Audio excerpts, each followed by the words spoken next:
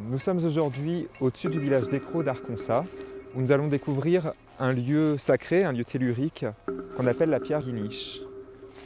Cette pierre Guiniche, elle a trois particularités, trois mystères qui l'entourent. Un premier mystère qui est son architecture, puisqu'en fait ce sont un amas de granit. Un amas de granit très gros pour être fait par l'homme, cependant certaines pierres de soutènement sont en granit un petit peu plus rose, et ce gisement de granit rose vient de 20 km au-dessus des pierres Guiniche. Donc on ne sait pas vraiment comment ces pierres-là ont été installées. Le second mystère, c'est simplement le fait que ce soit un bestiaire géant. En faisant le tour de ces pierres, vous pourrez découvrir aussi bien un ours, un lion, une grenouille, un poisson, selon votre imagination.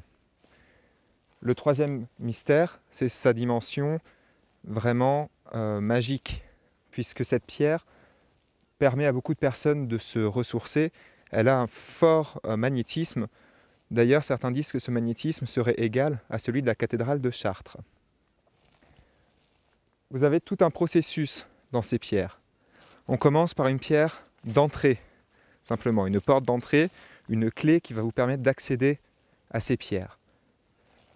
Ensuite, vous allez avancer dans ce lieu qui vous permettra donc au fur et à mesure d'éprouver des sensations différentes.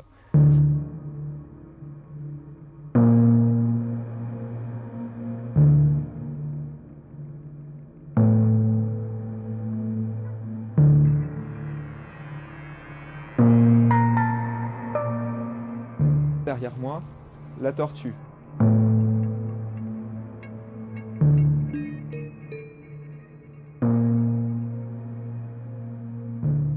Ces pierres druidiques qui ont été redécouvertes seulement en 1977 par Pierre Frobert.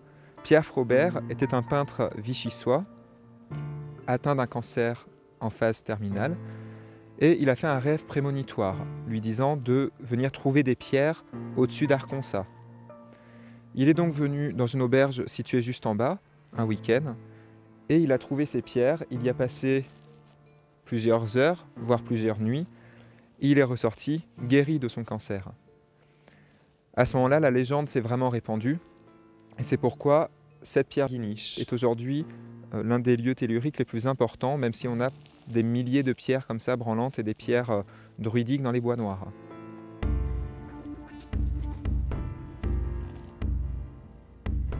Certains verront ici un ours, d'autres un lion. En tout cas, c'est peut-être la forme, l'une des formes la plus visible de ces pierres avec l'œil, le museau et la bouche. L'animal le plus fort aussi, le plus symbolique de ces pierres.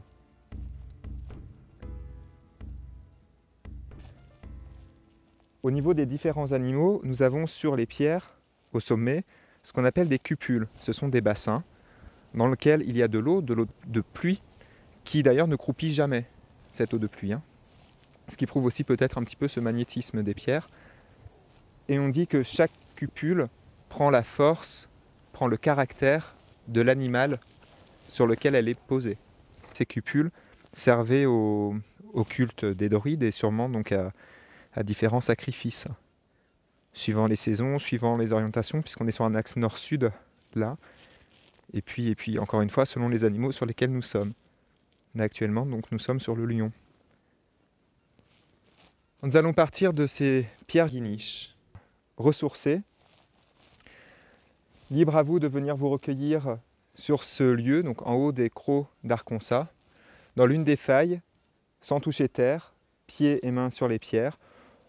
Peut-être croiserez-vous quelqu'un qui chantera le chant des anges. Quoi qu'il en soit, à tous les coups, vous pourrez faire une expérience extraordinaire.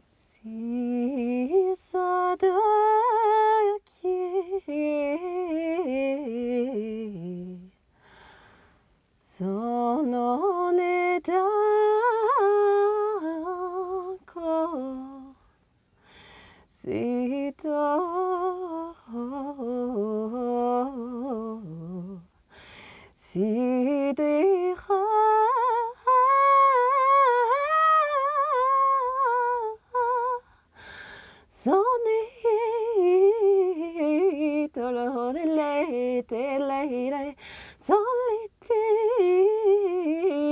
toloile ye ye ye ye soniti la ila ila ila ila da da yeso oh isakya no no le ila la do lo lo te